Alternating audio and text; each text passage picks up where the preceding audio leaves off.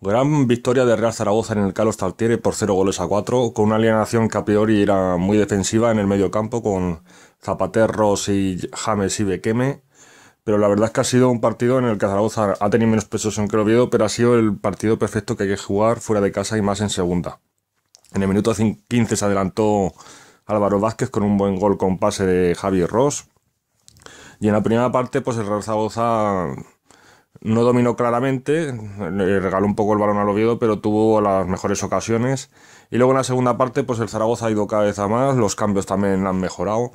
Ya ha sido una muy buena parte del, Real Zaragoza. En, a mediados de la segunda parte, gol de Verdasca en una jugada balón parado, en que enganchó muy bien, que parecía casi un delantero.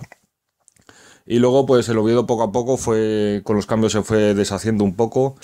Y luego el, con el 0-3 del Zaragoza, un muy, muy, muy buen gol de James y que parecía un jugador de primera división. Ojo a este chaval.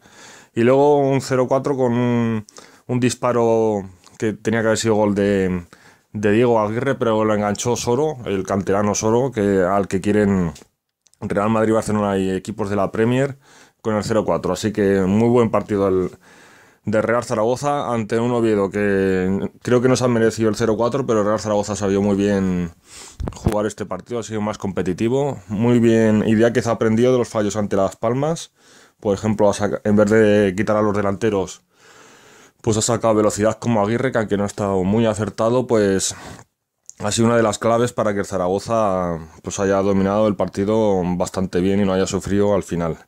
He visto a Aguirre un poco egoísta, pero bueno, es normal porque no ha jugado muchos minutos y, necesitaba demostrar. Y bueno, por el resto muy bien. Soro ha ido a más. Le, hacía falta el gol para coger un poco de confianza porque se ha hablado mucho de él.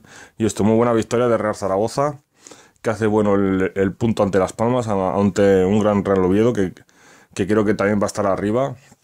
Y esta es la. Así que tres puntos más. Zaragoza ya suma ocho. Y la verdad es que eh, lleva los dos últimos partidos de Real Zaragoza, aunque no hayan sido los 90 minutos, ha estado un nivel de primera división.